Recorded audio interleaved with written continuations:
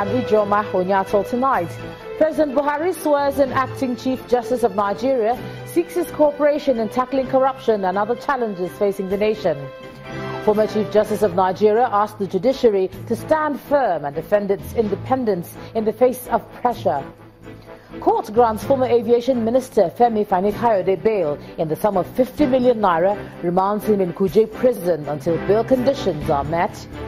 And US President-elect Donald Trump meets with President Barack Obama to kickstart transition process as protests trail Trump's victory. On business news tonight, Nigeria's food import bill declines by 5.7% to 648 billion naira from 1.1 trillion naira. And on sports news tonight, Nigeria's Super Eagles assure fans of victory over Algeria in the 2018 FIFA World Cup qualifier in Uyo. I'm Linda Kibi and from Abuja. All Progressives Congress flags off governorship election campaign in Ondo State, pledges rural development as well as employment through agriculture and industrialization.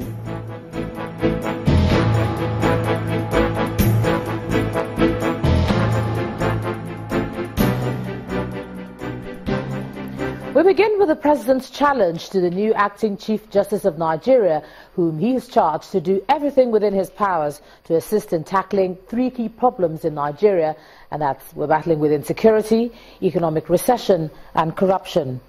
President Muhammadu Buhari said this after swearing in the new acting CJN, Justice Walter Onnoghen. Justice Onnoghen, the most senior judge in the Supreme Court, is replacing Justice Mahmood Mohammed, who has attained the mandatory retirement age of 70. Justice Onnoghen will remain in acting capacity pending the appointment of a substantive Chief Judge of Justice of Nigeria by the President and confirmation by the National Assembly. The new acting Chief Justice of Nigeria to come at a time that the institutions he's going to head played its role of one of the constitutional bodies after the executive, the judiciary, and the legislature at this trying time of our nation. Trying time in the sense of the three identifiable problems this country is facing.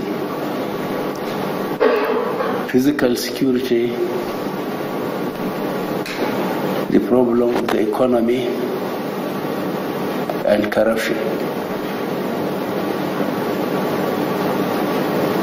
In this room contain the constitutional bodies that are responsible for bringing Nigeria back into line in terms of security and managing it efficiently by making sure that the economy is resuscitated and that uh, security of dealing business at all stages in the country is free and fair. Nigeria's President Muhammadu Buhari. Meanwhile, the immediate past Chief Justice of Nigeria, Justice Mahmood Mohammed, has asked the judiciary to stand firm and protect its independence. Justice Mohammed, who was speaking at a valedictory session in his honor in Abuja, said Nigeria was spared the repeat of the June 12, 1993 political saga during the last general election because the third arm of government resisted all attempts to make it compromise its independence. The governor of Taraba State, former governor of River State, retired justices of the Supreme Court, members of the inner and outer bar, and well-wishers gathered at the Supreme Court for a valedictory session in honor of the outgone Chief Justice of Nigeria, Justice Mahmood Mohammed. Shortly after, the man of the moment arrived in company of other justices of the Supreme Court to preside over his last sitting as the Chief Justice of Nigeria. One after the other, speakers commended the former Chief Justice while bearing their minds on recent events in the nation's judiciary. We in the profession have kept a blind eye to our problems for far too long. This type of attitude must now give way to positive thinking as to what will be best for our judiciary, for our judiciary system and the profession. We nevertheless recognize that these events, as distasteful as they have been, present the legal profession with an opportunity to confront the problem of corruption in the judiciary and indeed in the legal profession. The man of the movement, however, chose to look at the achievements of the judiciary, for which he says Nigerians should be grateful. During the run-up to 2015 elections, our judicial officers withstood immense pressure in order to guarantee a level playing field and smooth transition of government, which ensured that the governor of Taraba State, former governor of River State, retired justices of the Supreme Court, members of the inner and outer bar, and well-wishers gathered at the Supreme Court for a valedictory session in honor of the outgone Chief Justice of Nigeria, Justice Mahmoud Mohammed. Shortly after, the man of the movement arrived in company of other justices of the Supreme Court to preside over his last sitting as the Chief Justice of Nigeria. One after the other, speakers commended the former Chief Justice while bearing their minds on recent events in the nation's judiciary. We in the profession have kept a blind eye to our problems for far too long. This type of attitude must now give way to positive thinking as to what will be best for our judiciary, for our judiciary system and the profession. We nevertheless recognize that these events as distasteful as they have been, present the legal profession with an opportunity to confront the problem of corruption in the judiciary and indeed in the legal profession. The man of the movement, however, chose to look at the achievements of the judiciary, for which he says Nigerians should be grateful.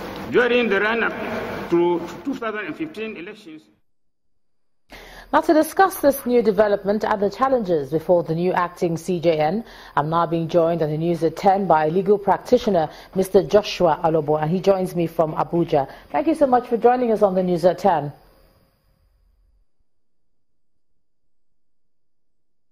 Thank you. All right. Now this change of guard. First and foremost, I, I wish to congratulate President Donald Trump, President-elect, and also congratulate the acting CJN that was sworn in by the president because otherwise there will be a constitutional crisis. But at least before the the retired Justice Mahmoud uh, actually retired, he was sworn in. So it's a good development for Nigeria judiciary. Okay, I was actually going to ask. And if I can just put the question to you, and then you can you can answer back if you can hear me clearly. I was trying to say that this change of guard has come at a time when there's a lot of criticism for the judiciary. So, how do you think the new acting CJN um, should process? Uh, in as much as he has been in the Supreme Court uh, for oh, since 2005, that is uh, almost seven years now he is abreast with the problem of the judiciary, and good enough, there have been a lot of uh, institutional framework with what has happened between October 7 and 8. So you see that the revised code of conduct for judicial officer, the national judicial policy, all are targeted to strengthen the judiciary in Nigeria. So for me, the Justice Onnoghen is an erudite justice that is aware of the problem in the judiciary and he will frontally tackle it as has already been commenced with the NJC position and so the position of the justices that were arrested. So to me, a lot of things has already been resolved prior to his appointment today in the acting capacity pending when the confirmation will be made by the Senate in oh, due course. Yeah, and you see the, the outgoing CJN asking um, the, the incoming CJN to ensure that the judiciary remains independent. To what extent is, is the bigger question?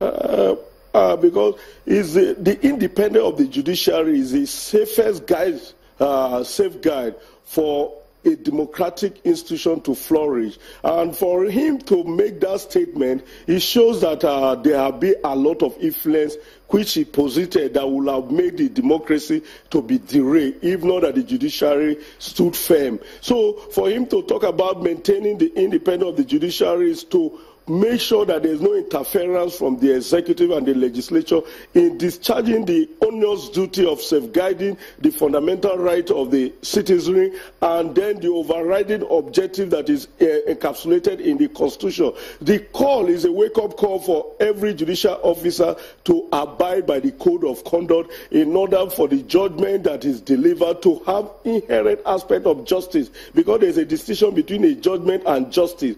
Once a judgment has element of justice, the society will flourish, and then there, there will be a prosperity for the nation. And by so doing, the independence of the judiciary will be safeguarded. But if the, the independence of the judiciary is not safeguarded by the judges and they are allowed to be influenced by any uh, association whatsoever, like what has uh, been in the public domain, it will impugn the independence of the judiciary. And that is why the outgoing CJN advise and admonish the judiciary as an institution to make sure that their judgment reflect the position of the law and not to allow any interference from the executive in particular because I think the major problem of the judiciary, based on what the outgoing CJ have said, uh, squarely lie with the executive arm because the executive arm has made subtle attempt to corrupt the judiciary. And we must oh. look at this issue holistically. And for every arms of government that is fighting corruption must ensure trying to uh, corrupt the system. That is the essence of that admonition. Well, you're saying that the executive has tried to corrupt the judiciary is a subject of debate. That's your own personal opinion. But what I would say is, what about, what about when you're talking about um, judicial officers being accused themselves? Let's not look at interference from outside. What should the C new CJN do in a case where you have judicial officers, the ones being accused?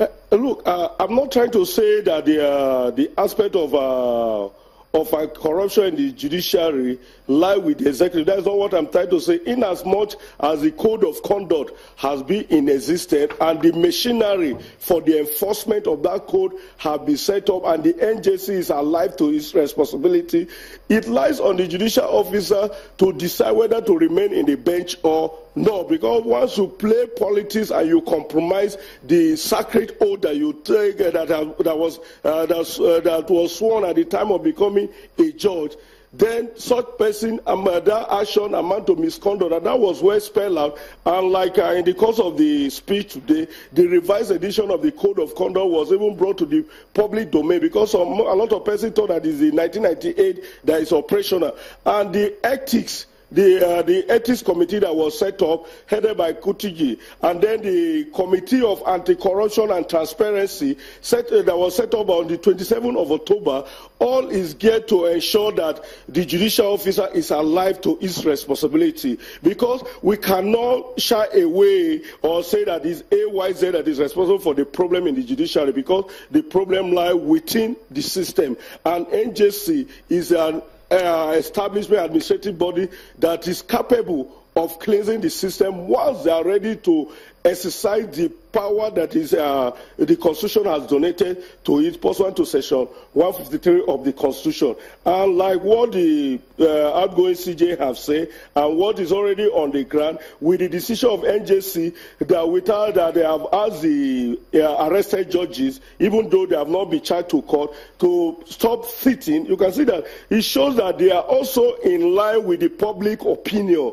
Because in Nigeria, we think that public opinion does not count. It does. Even the NBA has eventually buy into the, uh, the domain of the public opinion in order to make sure that justice is seen to be done because he who comes to equity must come with a clean hand. And when you see to determine the affair of any human being, you must live above the board, like in Caesar. And that was even the threshold yes, of the admonition yes. by the CJN, that they must be conscious of their oath of office to live above the board because we cannot keep on blaming the, uh, the game that is the executive of the legislature right. that is uh, responsible for the corruption in the judiciary. It's, Okay. uh, it's an in-house issue that NJC is empowered to cleanse, and I think they have woke up.